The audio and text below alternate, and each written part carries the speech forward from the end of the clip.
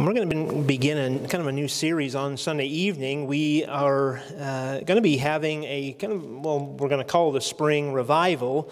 Um, certainly, I don't think you can schedule revival necessarily, but we're going to have special meetings uh, in, uh, Mar- in May, rather. And so, what I'm looking to do and been praying about, asking the Lord for some direction, is um, from that point, I just kind of went backwards and, and uh, looked at some passages and, and uh, starting to work together some messages about um, this issue of the inner man. And uh, I'm not concerned. I just, as a pastor, I, I, want our inner man to be right and, and prepared for uh, when we have this time scheduled for revival, that we'd be ready uh, as a church, that uh, we'd be thinking about some of the things in the areas that God wants us uh, to uh, be doing, to res- the way He wants us to be responding uh, in His Word uh, and to the preaching of His Word. And so I just, I'm, I'm looking at several, uh, again, several passages of Scripture and several messages and, and just trying to think through. Uh, some, some things about our inner man, our, our inner being, our, our heart attitude, if you will, and how does the Lord want our heart to be? What, what does He want our response to be? And we're going to start that tonight here in 1 Kings chapter 17, beginning in verse number 1. And the issue tonight is that of trust. What am I doing in, in trusting the Lord? And so if you find verse 1, I'll let you sit. We're going to read kind of an extended portion of Scripture here tonight as we uh, look at this passage of Scripture. But second, uh, 1 Kings, rather, 17, look with me at verse number 1 this evening. And Elijah the Tishbite, who was of the inhabitants of Gilead, said unto Ahab, as the Lord God of Israel liveth, before whom I stand, there shall not be dew nor rain these years, but according to my word. And the word of the Lord came unto him, saying, Get thee hence, and turn thee eastward, and hide thyself by the brook, by the brook that is before Jordan. And it shall be that thou shalt drink of the brook, and I have commanded the ravens to feed thee there. So he went and did according to the word of the Lord, for he went and dwelt by the brook Cherith that is before Jordan. The ravens brought him bread and flesh in the morning, and bread and flesh in the evening, and he drank of the brook. Came to pass after a while that the brook dried up, because there had been no rain in the land. And the word of the Lord came unto him, saying, Arise, get thee to Zarephath, which, is, uh, which belongeth rather to Zidon, and dwell there. Behold, I have commanded a widow woman there to sustain thee. So he arose and went to Zarephath. And when he came to the gate of the city, behold, a widow woman was there gathering of sticks. And he called to her and said, Fetch me, I pray thee, a little water in a vessel that I may drink. And as she was going to fetch it, he called to her and said, Bring me, I pray thee, a morsel of bread in thine hand. And she said, As the Lord thy God liveth, I have not a cake, but an handful of meal in a barrel, and a little oil in a cruse. And behold, I am gathering two sticks that I may go in and dress it for me and my son, that we may eat it and die. And Elijah said unto her, Fear not. Go and do as thou hast said, but make me thereof a little cake first, and bring it unto me, and after make for thee and for thy son. For thus saith the Lord God of Israel The barrel of meal shall not waste, neither shall the cruse of oil fail, until the day that the Lord sendeth rain upon the earth. And she went and did according to the saying of Elijah, and she and he and her house did eat. What are the next two words? Many days. And the barrel of meal wasted not, neither did the cruse of oil fail, according to the word of the Lord which he spake by Elijah. Let's pray this evening, Lord. I pray that you'd help us again to, to get what you're saying here. And Lord, I pray that you'd give me wisdom and direction, help me to, to understand um, all of the truths here so that I might best proclaim them to, to your people, that it might be a help, that we might have our hearts prepared and understand the, the, the seriousness of this issue of our inner man, our inner person. Lord, any of us in here can and probably are guilty of putting on a show or trying to make the outside look better than what the inside really is. So, Lord, help us to be people that desire to have our inside right first and understand that when our inside is right, the, the inner man is right, then that will show itself on the, in the outer man. And I'll be very grateful. And I know that uh, you'll use that in every one of our lives. And we ask it in Jesus' name. Amen. Well, long before, if you've ever built a house or seen a building build, you understand that long before the, um, the, the, cool pieces go up, you know, the stuff like the walls and the roof and the, the, the rooms are outlined and all those things, there's uh, some digging that goes on in the dirt. You know, people come in with those big old tractors and they lay out the plans and, and they're looking at the plans and they're laying out those little. Uh, uh, colored flags. You know, it's like, what on earth? Why don't you just get on with the building already? Why, why are you messing around in the dirt? Quit digging in the dirt and let's do what it is you're supposed to be doing. Well, what are they doing when they're digging in the dirt? They're preparing for the foundation, right? And more important than the walls, really, of a building or the roof of a building, the most important part is the foundation if you don't have a good foundation, if, if the foundation is, is crumbling or weak or it's on a hillside and it hasn't been properly reinforced, then as nice as the house might look or the building might look on the outside, as, as great as you might have decorated on the inside or, or, or put nice things on the inside, once the foundation fails, the rest of it is going downhill quickly. I mean, it's, it's just going. You're, you're not going to be able to save it. The, the same thing is true in your Christian life and in mine. I can make the outside look good. I can put on a happy face and I can shake people's hands and I can make them think that everything in my life is going well. But at times, if I'm honest, I would say there are things in my life that are, man, it's a mess in there. And there's a storm going on in my heart, and, and I, I'm not certain that I'm really trusting in the Lord because there's a lot of issues and, and doubts that I have in my mind, and, and my inner man is not matching what I wish my, what I'm trying to portray my outer man to be. I, have met people like that. In fact, I, I'm guilty of doing that at times myself. I want to, to rush ahead and, and, and grow or to, to be farther down the road than my foundation really would allow me or, or support me to be. And without the firm foundation, a structure is useless. And without, without a foundation of these things that we're going to talk about over the next several weeks, your Christian growth, your, your Christian life is just, it's really waiting to crumble. And, and when the next thing, it's, it's like, um, you ever played Jenga? You know what Jenga is? you're taking out little pieces, and man, this happens, and this came up, and I didn't expect this, and sooner or later my life gets out of kilter and I fall over because my, I don't have a good, strong base that, that my faith or my trust is built on. The states of Alaska and California are two states that experience the most earthquakes in our United States. And because of this, building codes have been put into place to ensure safety for residents in the event of earthquakes in those, those areas. And there's a lot of beautiful buildings that have crumbled to the ground because the structure that was uh, supporting these buildings and the foundation could not withstand an earthquake. And building according to earthquake codes in California and Alaska, it costs a lot of money. But you understand it costs more money to rebuild a building than it does to just have a firm foundation to begin with and to build on top of that? Well, think about your life in, in, in your Christian walk. You might be able to put on a, a happy face or, or, or even hide things that you think nobody else knows about. But sooner or later, something's going to come and that is going to be exposed in your life. And the damage that it causes costs much more to, to repair or to uh, work through or to get over than it would have if we just would have started with the right foundation to begin with.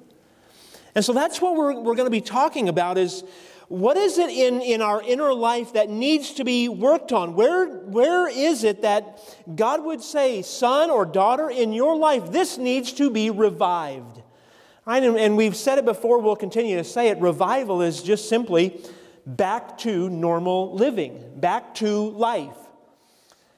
And, and we want to get back to a normal biblical way of living. And so, again, we'll, we'll look at that tonight, and it is going to begin here with this issue of trust. 1 Kings 17, our passage this evening, gives us the example of two people a prophet and a widow.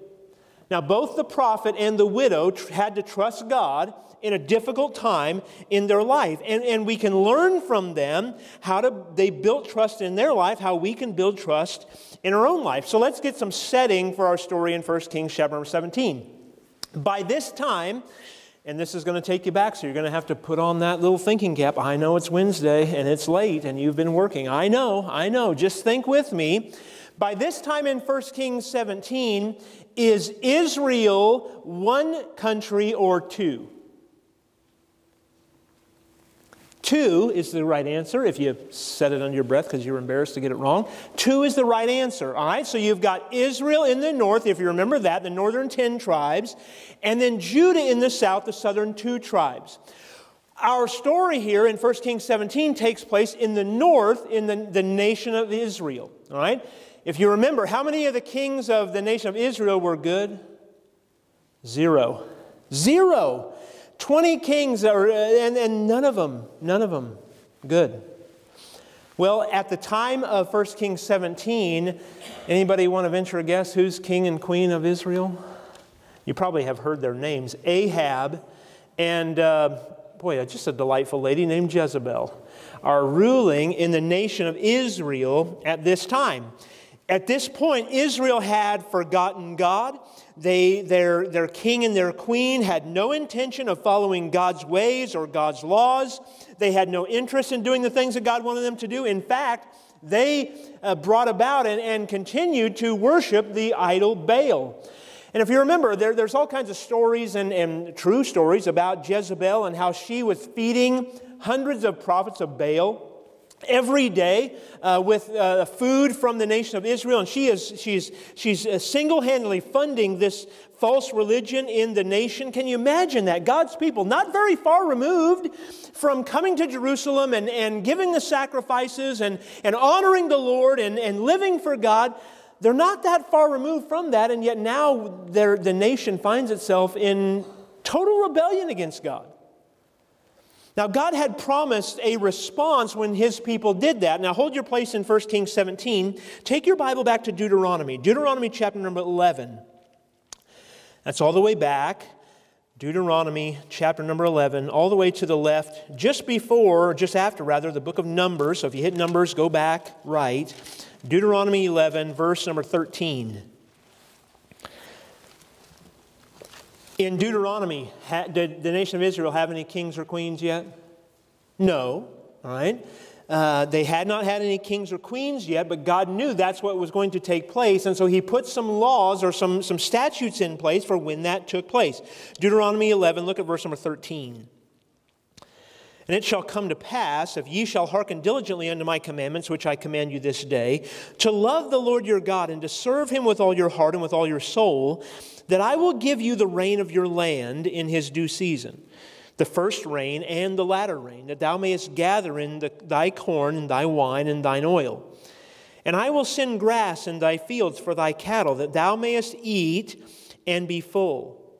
Take heed to yourselves that your heart be not deceived, and ye turn aside and serve other gods and worship them. And then the Lord's wrath be kindled against you, and he shut up the heaven, that there be no rain and that the land yield not her fruit, unless ye perish quickly from off the good land which the Lord giveth you. So Elijah's proclamation here, when you, when you look at 1 Kings chapter number 17, of a coming drought is not just some, I've heard this preached this way, it's not just some crazy prophet coming in and, and blasting out this message that it's not going to rain. What Elijah is doing is he's simply proclaiming what God had already said in the book of Deuteronomy. Because you have turned against your God, the God that brought us into this land, He is going to stop the rain from falling. There will be a drought in this, in this land, and it will not rain again until I say so. He is proclaiming the truth of God. He says it in verse number one Elijah the Tishbite, who is of the inhabitants of Gilead, said unto Ahab, As the Lord God of Israel liveth, before whom I stand, there shall not be dew nor rain these years, but according to my word, unless I say, God will not bring rain again. And as always, God's word comes to pass. And so the nation of Israel, these northern ten tribes who are going in rebellion, led by Ahab and Jezebel, they're, they're, they're experiencing exactly what God had said. And life became this incredible season of testing. By the way, is Elijah living in the land? Yes. Yes. And so when he's saying that, he's not just saying, well, yeah, but I'm going to, you know, it's going to be steak and potatoes every day for me. That's not what happened. By the way, when you think through the story in 1 Kings 17, is the land of Zarephath included in this drought? Yes. Yes. And so, do you think that God knew that there's a widow and her son in the land of Zarephath, that when he says, I'm going to bring a drought on the earth, do you think that God knew about the widow and her son? Yes. Yes. Did God already have a plan to take care of his prophet Elijah by way of the widow and her son that were all also going through the drought? Yes. Yes. So when God says this in Deuteronomy chapter number 11, now this, just hang on. When God says that in Deuteronomy 11, does God already know there's going to be Elijah that comes on the scene? Yes. Yes. Yes. He already has planned and prepared for every event that's taking place in 1 Kings chapter 17. These are not hard things for God. But come at it from Elijah's perspective and from the widow's perspective. Are these difficult times? Oh, yeah. Yeah. We live in a land of plenty here in America, and most of us, uh, we don't often pray for give us this day our daily bread because we stand in front of a full pantry and we say there's nothing to eat. All right? Um, that's what my kids do, is the open refrigerator and there's nothing to eat and the thing's full. We don't understand necessarily what it is to be gathering up sticks so that we might light a fire and cook the last little bit of food for our son and for us, and then we're going to die because there's nothing else left. But these people did. But yet, God loves them and sees them enough to take care of these people during a time of trial and testing in their life. And through their responses here in 1 Kings 17, we see that the foundation of their faith was exposed. What are you really going to trust in? Are you going to trust in your way and your plan and your way of thinking, or are you going to trust what God says and tells you to do? So I want us to see, first of all, here the trust of Elijah in our passage this evening. Because Elijah preached the word of the Lord to Ahab, he became really a kind of a special target for Ahab and Jezebel's anger. I mean, Ahab hated Elijah. He just he could not stand him. Jezebel hated him, it seems like even worse. And certainly, word probably got around that Elijah had gone to the king and said, It's not going to rain. And so he's probably not a real popular person in his even neighborhood because of what he has said here. But understand, Elijah is trusting God. He's following what God would have him to do. Verse number two of 1 Kings 17, look at what he does. The word of the Lord came unto him, saying, Get thee hence, and turn thee eastward, and hide thyself by the brook Kerith that is before Jordan. And it shall be that thou shalt drink of the brook, and I have commanded the ravens to feed thee there. So he went and did according to the word of the Lord. For he went and dwelt by the brook Kerith that is before Jordan. So now, more than ever, Elijah has to trust God for everything. God told Elijah what? To go. And what did Elijah do? He went. It's very simple, it's very plain there in our passage this evening. His obedience was proof that Elijah was trusting in God. Right? Now, I know this, this sounds simple, but this oftentimes is one of the, the more basic things that people uh, seem to stumble with or trip over. The simple fact that I show I'm trusting God by obeying what it is He's telling me to do. So, the question then should come up in your mind is that what I'm doing? Am I trusting God so much so that I'm being obedient to what it is He has me to do? Or am I trying to find ways to make a plan work in my own time, my own way, my own method? Am I thinking, well, yes, I, I trust God, but He's not really working you know, this deadline's getting close and he's not really seeming to be working, so I've got to come up with another plan. Am I, am I living a life of obedience? Am I trusting God? Well, how did Elijah trust God? First of all, he went to Kerith. Verse 3 he, he hid himself, or he, God tells him to hide thyself by, by the brook Kerith. Because Elijah trusted God's direction, he saw then God provide in a miraculous way for his need. Look at what the Bible says here in verse number 5 because he went, so he went and did according to the word of the Lord, for he went and dwelt by the brook Kerith, that is before Jordan. And notice verse 6 And the ravens brought him bread and flesh in the morning, and bread and flesh in the evening, and he drank of the brook. I've heard this statement before, and I think it's absolutely true. You may have heard it also. Where God guides, God provides. That's what he's done in Elijah's life. There's a drought that's going on. There's no rain. Well, we live in Texas. We understand what happens when there is no rain. What happens to that creek that runs, you know, uh, down in the neighborhood? Or what happens to the, to the river, even that can rage at certain times? It dries up. There's a dry riverbed. Well, God tells Elijah, There's a drought, but I want you to go to this brook. I'm going to provide for you there. Now, if you've been in any parking lot around in our city or around any of the towns around us, there's those birds that. Uh, they always seem to be present, you know, those little blackbirds, and sometimes you'll even see a raven or a crow out there. Um, crows are not necessarily known for sharing their food. But that's what happens here in 1 Kings chapter number 17. Because Elijah obeyed God, he's able to see a, a miracle take place in his own life simply because of his obedience. And this account of God using the ravens to sustain Elijah is, is miraculous. But Elijah, if Elijah would not have trusted God's direction, he would have missed out on God's provision. That's the same thing for you and me.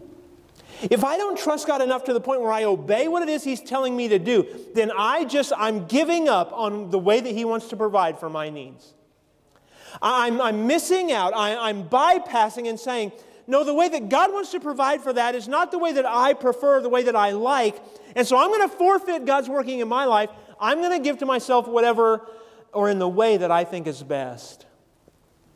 And that's tragedy. There is a way that seemeth right unto to man, but the end thereof are the ways of death. Our human tendency runs contrary, it seems like, to trust.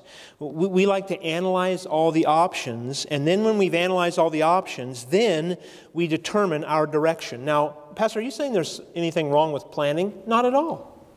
No, we, we would have long term plans. Certainly, I think that's wise to do. But it becomes unwise when I outplan God. When, when my plans don't have any room for God to move or work or even to overtake the plans that I had originally made. I'm not God. By the way, neither are you. I hope that's not a surprise. but you understand that if I'm obedient, then I'm telling God, you have every right and every opportunity. I want to yield to you. If you want to change the course that I'm going, then Lord, I want to be obedient. I want to follow. That's part of when we read Psalm 119 and, we see that Thy word is a lamp unto my feet and a light unto my path. It's not like it's a big old spotlight, it's just one step at a time. And then I follow God the next step. And then He lights the way to the next, and then I follow and I follow and I follow. Well, I'm a human and I'm a man and I'm impatient. And so I can find myself outstepping or outrunning God God has to use things in my life to call me back to His will and His way. And far too many of us, I think, I think, miss out on experiencing great acts of God's provision because we refuse to trust Him for His direction. God promises to guide those that are willing to trust Him. We, we have read and, and oftentimes have seen the verse up on the, on the screen there Proverbs 3, 5, and 6. Trust in the Lord with all thine heart and lean not into thine own understanding. In all thy ways, acknowledge him. And what does he say he will do? He'll direct your path. Well, I don't know if that's the way that God is directing. Well, he said he would, so why don't you just wait until he makes it clear? David prayed, Lord, lead me in a plain path. And you know why? Because, Lord, there are enemies out there. Lead me in a plain path because of mine enemies. Psalm 18 in verse number 30. As for God, his way is what? Perfect. Perfect. It never fails. The word of the Lord is tried. He is a buckler. That word literally, literally means shield. He's a buckler to all those that trust in him. So every time you, you think that your way or our plan is better, understand the Bible declares very plainly that when we'll trust God and be obedient to Him, that's the safest place for us to be. That's the place of God's protection. Now, understand, does that always mean um, I might keep my life? No. No, I think of great missionaries um, and like, have you ever heard of Nate Saint, Jim Elliot, reaching those Indians in Central America? I don't think for one minute they were out of God's will. But you know what God allowed? That those heathen, savage Indians took those men's lives. But understand how God used a sweet spirit and a spirit of obedience in the wives of those men to go back years later and to see the chief and the tribe trust Christ for salvation. Because God has bigger plans than what you and I think are possible or that you and I think would, would ever work. We, we, we leave God out of the equation so many times. Hebrews 11, verse number 1, we, we understand that passage. Oftentimes we call it the hall of faith, but it begins in verse 1. It says, Now faith is the substance of things hoped for, the evidence of things not seen. Hebrews 11, verse number 6, But without faith, it is impossible to please him. For he that cometh to God must believe that he is, and listen, and that He is a rewarder of them that diligently seek Him. Trusting God is a lifelong, understand, it's a lifelong privilege to be able to trust the God of heaven. And growing in this thing called the Christian walk is going to require constant surrender to follow God's direction. Right? Um, it sounds, I know, I, am going through this today again, and I'm just like, this, it, we sound like a broken record. In the adult Sunday school classes, we're talking about being changed into His image and being constantly surrendered to God's will. And it seems like we've been there on Sunday mornings, it seems like it's been covered on Sunday nights, and now again on Wednesday night, preacher, you couldn't find something else to preach about? Well, you know why the Bible is so full of that? Is because God knows our heart and He knows we need to hear it time after time after time after time after time. Because there are plenty of us who go our own way, our own direction, and we have to continue to be told, Child, you come back and you trust God Himself. You constantly are requiring surrender. So, like this morning, you should have, before your feet hit the ground, you should have said, Lord, today I want to surrender to you, your will and your way. Whatever it is you have for me, Lord, I want to surrender to that. Guess what you're going to have to do tomorrow? The same thing. It's just a constant day after day after day after day. I don't wake up and say, Praise the Lord, it worked. Finally, I've read through eight chapters of Change into His Image. I'm finally there. I wish. But there's more chapters than chapter eight. You have to keep going. And by the way, don't, don't misunderstand. I'm not saying that book is the end all be all. That book is directing us back to God's Word and what He says about it. And you and I are never going to get there until we see Christ face to face. But constantly, day after day after day, waving the white flag God, today, I'm going to surrender. And if you're anything like me, there comes up times during the day when I have to resurrender. When I've tried to grab the reins and grab hold or grab the wheel and say, Lord, I think I know better how this ought to go. God says, Son, you, you don't know. There's a bridge out ahead. And I've got a detour coming in two days, two hours, two weeks, two years that you don't know about yet, but you follow me. You, you trust me. You believe that my way is best. And he says he is a buckler to all those that trust in him. So that means we, we need to keep trusting God, even when he directs us to places like the brook Kerith that seem unlikely and insignificant. Why, why go to a brook? It's just going to dry up. Well, Lord, I'm not doing anything for you here. But that's where God had him to prepare him for what he had next in his life. Well, secondly, then, not only does he go to Kerith, but in verse number 9, he has to trust the Lord, then, Elijah does, to go to Zarephath. Look at verse 9. Arise, again, get thee to Zarephath, which belongeth to Zidon, and dwell there. So he debated God about it? No. So he got on a boat to Tarshish? No. That was another one. No. So he arose and went to Zarephath. Now, if you were to look at a map, and in fact, I, I think I have one for you, this shows where Elijah was from. That's Tishba. Samaria is where King Ahab was. The brook Kerith is up on the east side of the Jordan, and the spelling there is different on this map. It's not to the spelling that you see in your Bible verse there, but uh, that's the same place, the brook Kerith.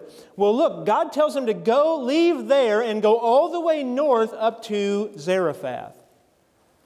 Zarephath was a Mediterranean town, seven miles south of the town of Zidon. Now, if you have heard that name before, that sounds familiar. Zarephath was the hometown of Jezebel's dad. And so it would be like the equivalent of you or I, as a, as a red blooded American Christian person, going into a, a, Muslim country, going into the, the, the large city of a Muslim country, and just deciding that's where I'm going to I'm going to live and I'm going to worship my God here. That's, that's kind of the equivalent of God telling Elijah to go to Zarephath. It, it wasn't a friendly place to, to God's people. But that's not all. Not only did God send Elijah to an unlikely location, he also sent him to an unlikely person, a widow. Well, this doesn't make any sense. But look at the words again of verse number 9 of 1 Kings 17.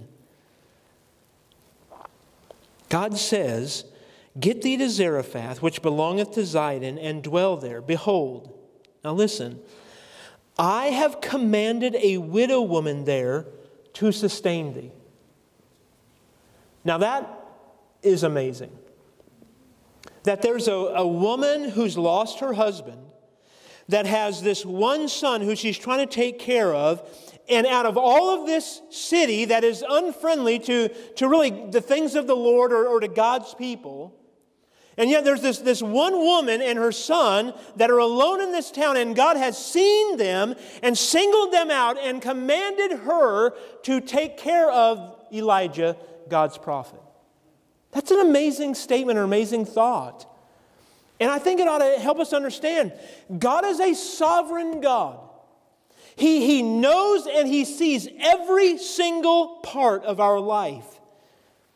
He is working a plan that you do not know about yet. He is bringing things to, to, to pass and, and putting events and people together in your life to help and to provide and to encourage you. So, do you think you can trust Him? You better believe that you can. And by the way, you, you, you should be trusting God. Elijah must have had plenty of questions for God regarding the, the manner of the provision the, the food service via the ravens. That's surprising, but yet God used it. Now, why turn to a poor widow woman who, who's a mother to a son and expect her in a time of drought to feed me? And aside from being extremely humbling for Elijah, there surely must have been some level of feeling. As you read it, I almost sense like, boy, Elijah, you, you know, you got some nerve, man. And I think surely Elijah must have felt some of that. But is Elijah doing this because he's doing it of his own accord? No. He's simply doing what God told him to do. And so he's going to this woman and he's asking her first, instead of feeding yourself and your son, make me some first. Can you imagine?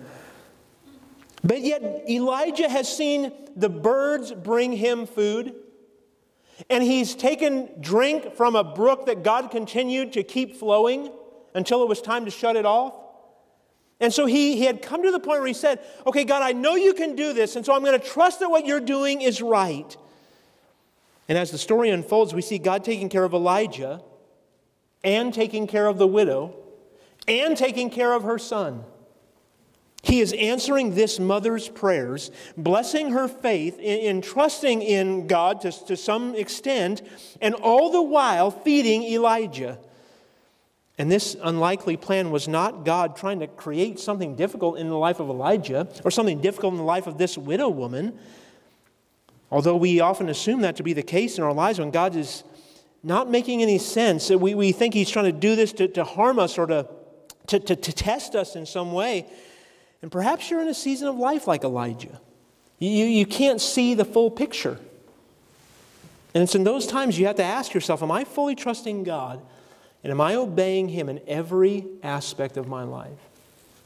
Am I doing what it is He wants me to do? Is there anything I'm holding back on because I can't see the full picture? Now, that can be a dangerous question. Over and over, God assures us of His love, His care for us, even when we can't see how He's working behind the scenes. Now, I'm going to have you turn to a couple verses and we'll finish this for tonight. Look at Isaiah 55. Go right just a, a little while. Isaiah 55 and verse number 8.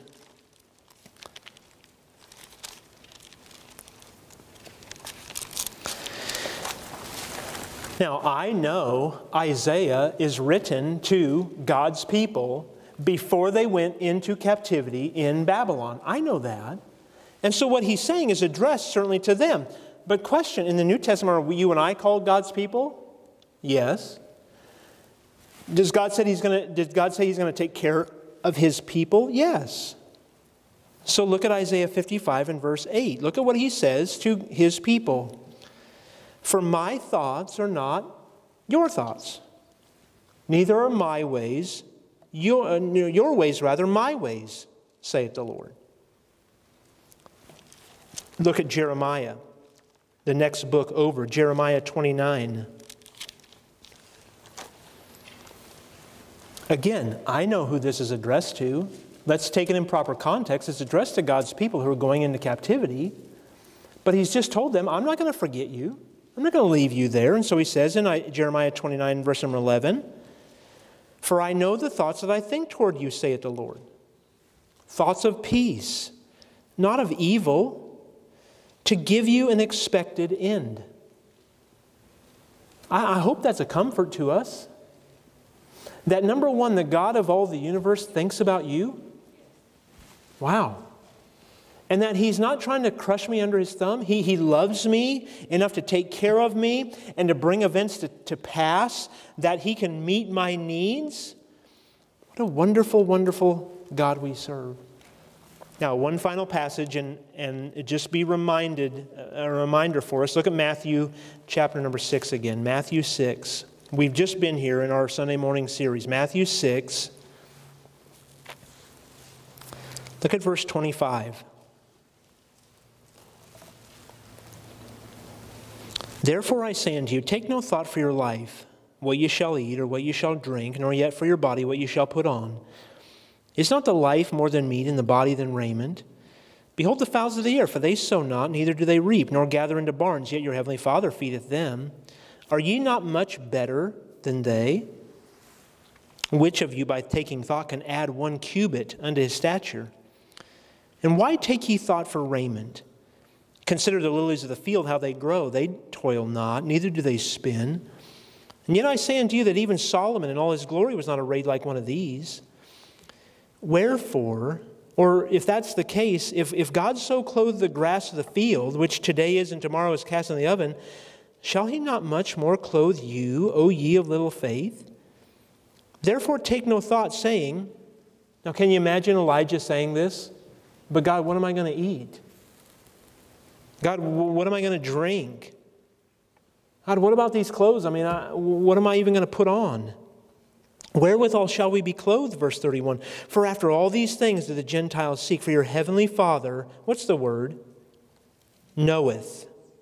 Your heavenly Father knoweth that ye have need of all these things. But seek ye first the kingdom of God and his righteousness, and all these things shall be added unto you. Elijah's test of faith was severe, but his trust shows us that God is trustworthy. See what Elijah did? what the widow does here makes no human sense. It, it doesn't make any sense at all. But Elijah followed God's direction, and through it all, God revealed his power. But Elijah wasn't the only one who's getting the, the blessing. Next week, we're going to look at the widow woman and the test that God brings in her life. Did she follow? Yeah. And she got to see God work an absolute miracle in her life. We'll get there next week.